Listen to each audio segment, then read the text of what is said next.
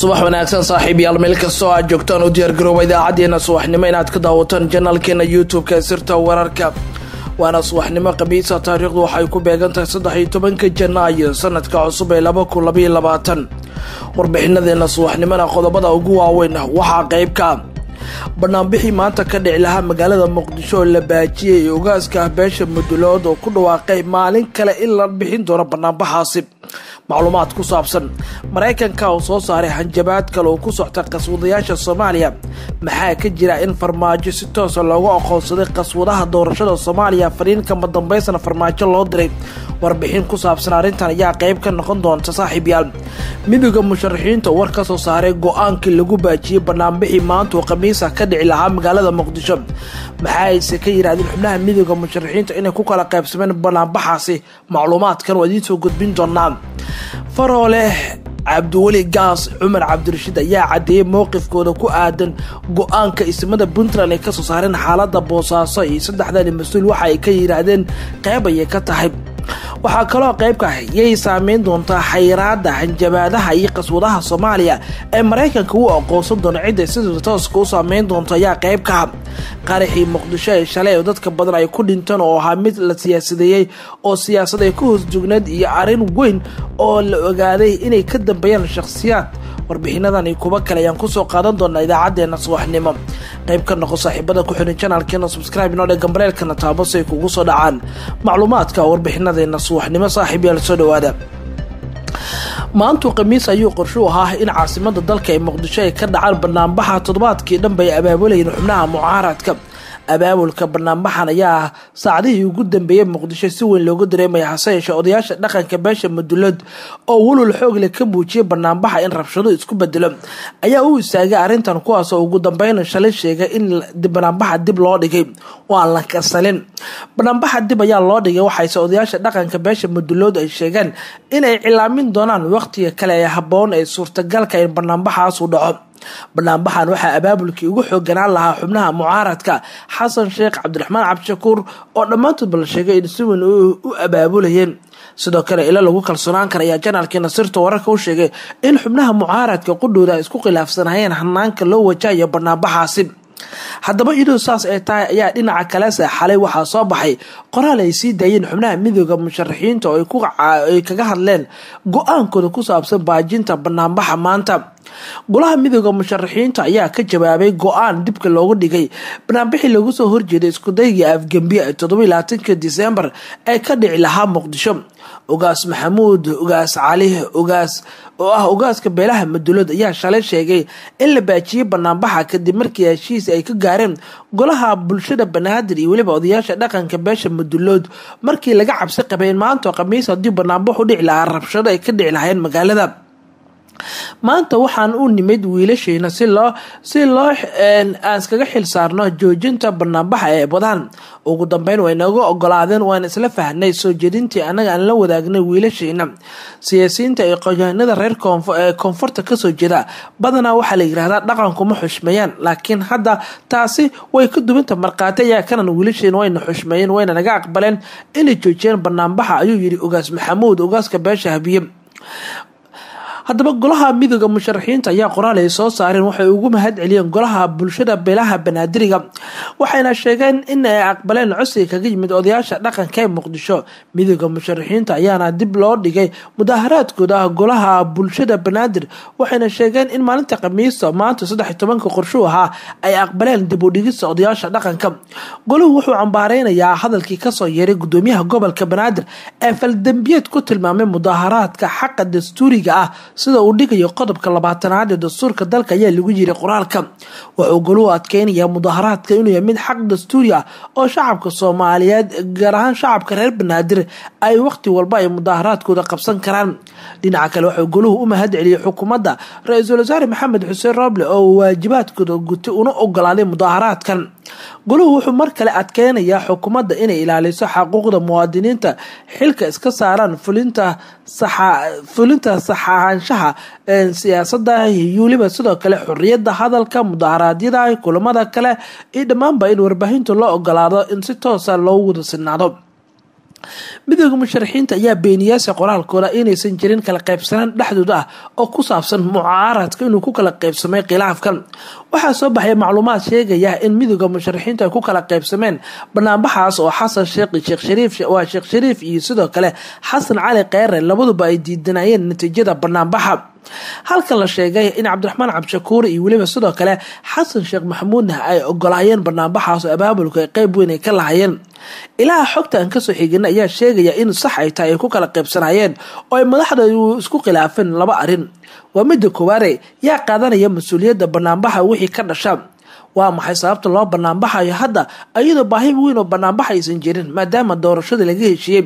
Aragtidan waxaa qabay xasan cali kheyre sheekh shariif sheekh axmed ayagoo doorbiday in banaanbaxa layska joojiyo oo doorashada aan xoogga isku geyno. Ilaahi inta ay wax iska bedelayaan. Laakiin aragti midaasi kadib waxaa qabay cabdiraxmaan cabdishakuur warsame iyo xasan sheekh oo ay qabeen in qasabay tahay in banaanbaxa la sameeyo la mucaarado farmaajo iyo iskudaygii afgembi uu sameeyey sidoo kale xukuumadan la garab istaago la muujiyo.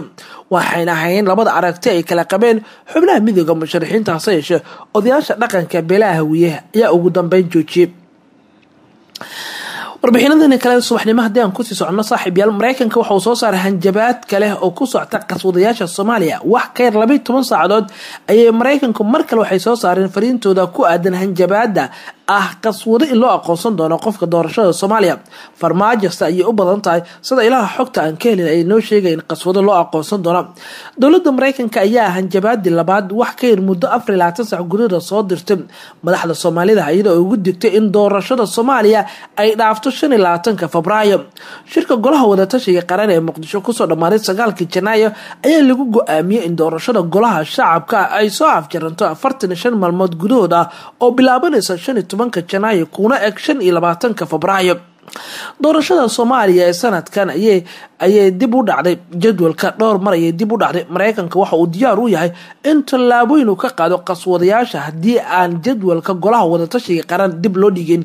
Ayaa lagu yiri qoraal ka soo baxay xafiiska arrimaha dibadda ee wasaaradda arrimaha dibadda ee soomaaliya. Waa arrimaha dibadda mareykanka maalin ka hor ayay ahayd markii sidaan oo kale hanjabaad noocan oo kale oo afayeenka wasaaradda arrimaha dibadda mareykanka ned brins uu soo saaray. Waxaana ugu baaqay hogaamiyaasha federaalka iyo kuwa gobollada inay u hogaamsamaan jadwalka cusub ee la isku raacay. Islamarkaana waxaa la saxay qaladaadkii ka dhashay hanaanka doorashada ayuu yiri nidbal brins doorashooyinka soomaaliya waxa ay yihiin jadwalkooda kuwa dib u dhacay hal sano sideedii febraayo ayay doorashadu inay qabsanto. Waxaan noqon doonaa sannadkii sanad guradii koowaad ee farmaajo sida sharci la'aanta xafiiska u jooga. Intaa kadib ma ogolaan doono in si sharci darra a xafiiska uusii joogo farmaajo. Dowladda mareykanka waxay diyaar u tahay inay adeegsato aaladaha ay heli karto oo ay ku jirto xayiraad fiisaha ah in laga jawaabo dib u dhac walba oo doorashada ah in xanibaad dhanka dhaqaalaha iyo safarada lagu soo rogo. Dhammaanba shaqsi walba loo arka inuu qaswaduhu ku yahay doorashada wasiirka hore ee qorsheynta cabdiraxmaan caynte ayaa sheegay in digniintan mareykanka iyo xayiraadaha ay sida tooska u saameyn doonto madaxda ku shaqada leh doorashada kuwaasoo sabab u noqon kara dib u dhac isbiirsada ee doorashada wuxuuna sidoo tooska u sheegay in xayiraad iyo qaswadab loo aqoonsan doono farmaajo haddii mar kale qayladhaan ka soo yeerto doorashada soomaaliya sida uu mareykanka warkiisa ku sheegay waxaa si toosa loo beegsan doonaa dadka go'aanada doorashada iskale ee dib u dhaca ah taasoo sababi karta. Waxaan ognahay in dib u dhacan hadda haddii jeer doorashooyinka ay ka yimaadaan farmaajo iyo xubnaha kale ee maamul goboleedyada. Mareykanka markan waxa uu sameeyey hanjabaad xayiraad socdaal. Dhammaantood waxay yihiin kuwo hadda u dhaqan gelin doono cunuqabateyna la saari doono. Qof walba oo loo arka inuu caqabad ku yahay doorashada mareykanka wuxuu sheegay in cunuqabateen dhanka dhaqaalaha ah socdaalka iyo weliba fiisahaba laga joojin doono dhammaanba dadka loo aqoonsado qaswadaha soomaaliya. Haddaba si guud haddaan u dul istaagno yay saameyn doontaa xayiraada mareykanka uu ku hanjabay madaxda soomaalida iyose si toosa u qaban doontaa. Cabdiraxmaan caynte oo hadalkiisa sii wata waxa uu sheegay in digniinta mareykanka ay tahay midaan la dhayeelsan karin oo qasab ay tahay in indho gaara loo yeesho oo la dedejiyo doorashada hogaamiyaasha soomaalidan ay ku qasbayiin in shan iyo labaatanka febraayo doorashada ay qabtaan. Cabdiraxmaan caynte waxa uu sheegay in digniinta mareykanka iyo xayiraadaha sida tooska ay u saameyn doonaan madaxda ku shaqada leh doorashada iyo kuwa sababa dib u dhaca. Wuxuu kaloo uu sheegay in mar walba xayiraada iyo safarada ay lama huraan noqon doonto in farmaajo uu saameeyay fahad yaasiin sidoo kale waxa uu sheegay in xanibaada fiisaha ah ay ceeb ku tahay madaxda in lala beegsado soomaalida marka loo eego madaxda dunida oo aan fiisahooda la taaban karin.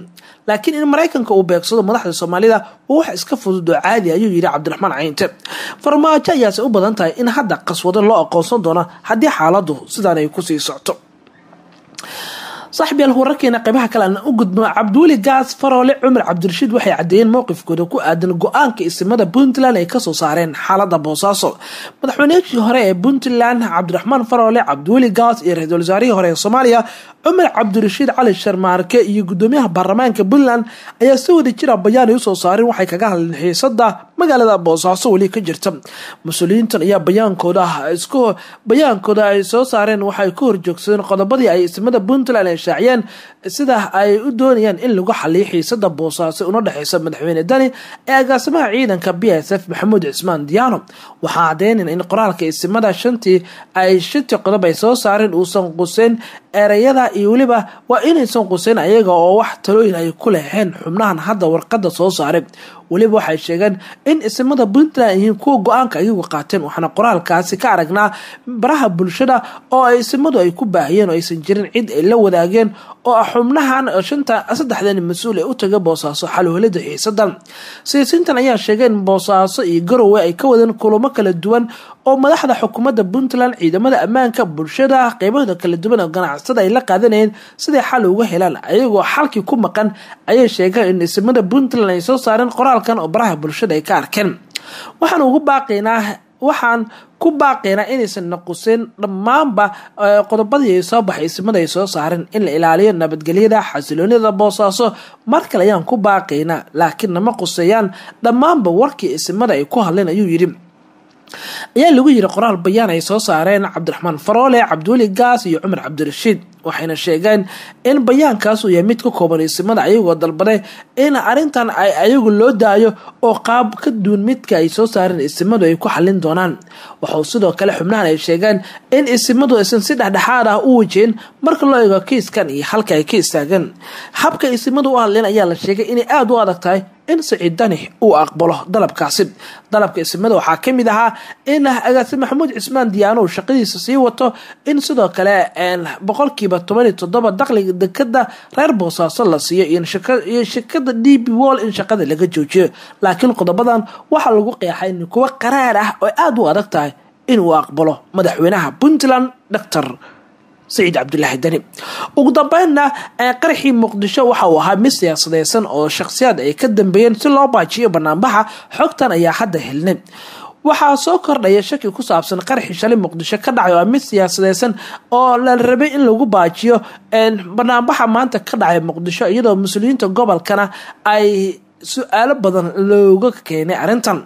Wasiirkii hore ee amniga maamulkaasi galmudug axmed macali fiqi oo ka leey qaraxa ayaa dalbaday in baaritaan dheeraada lagu sameeyo sidoo kale la fasiro warkii gudoomiye ku-xigeenka amniga iyo siyaasadda ee gobolka ee ahaa in qaraxa asaga lala beegsaday. Inkastoo qaraxa asaga lala beegsan oo lala beegsaday xubno ka socda dowladda mareykanka ee xilligaasi galaya eerbaarka muqdisho. Haddana fiqi waxa uu sheegay in qaraxan uu mid ay soo abaabuleen xubnaha ka soo horjeeda banaanbaxa mucaaradka. Fiqi ayaa sheegay in qaraxaas dhacay